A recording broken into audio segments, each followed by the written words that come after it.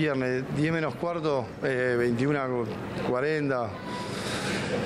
Eh, empezaron a llover botellas de hielo, literalmente. Parecía esto del cuento chino, viste, que te caiga una vaca dentro de un coso. No hubo que lamentar heridos, pero pudo haber terminado en una verdadera tragedia. Eran cerca de las 22 del viernes y tocaba una banda de rock cuando inesperadamente sobre quienes disfrutaban de la música en el pub ubicado sobre Boulevard comenzaron a caer botellas de hielo. Digamos, fue una tragedia con suerte y no puedo hablar de un vecino, sino de un asesino. Ya tienen todos los abogados, están las denuncias pertinentes. Eh, no encuentro en mi cabeza, no encuentro en mi cabeza el justificativo o poder llegar a tener una comprensión sobre alguien que tira botellas de hielo. Hace muy poco en Rosario hay un antecedente, una chica quedó hemipléjica, exactamente el mismo modo operando.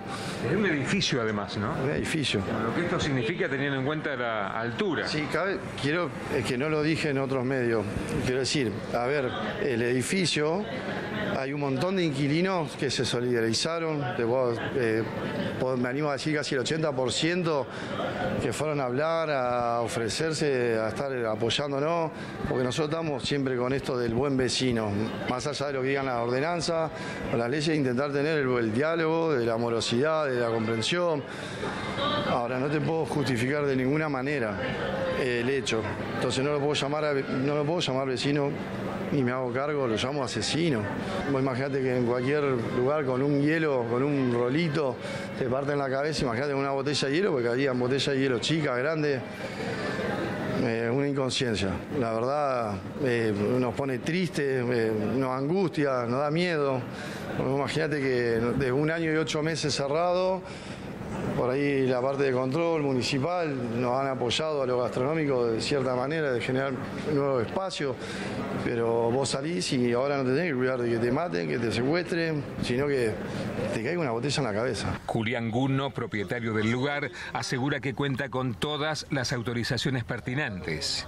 Sin embargo, desde el Ejecutivo Municipal señalan que pedirán informes a la Dirección de Control. Yo te puedo traer una murga, puedo, puedo, puedo ser... eh, Puedo ser mal vecino y traerte una murga a las 4 de la mañana y generarte un descontrol. Y así todo yo no te puedo justificar que tiré a matar a la persona con botella de hielo.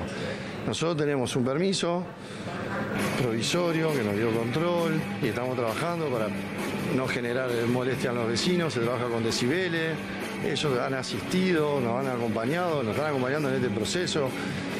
No te puedo justificar, no te puedo, no, no te puedo entender eh, que vos me tirés con botella de hielo a matar gente. No hay. ¿Multados por la municipalidad? No.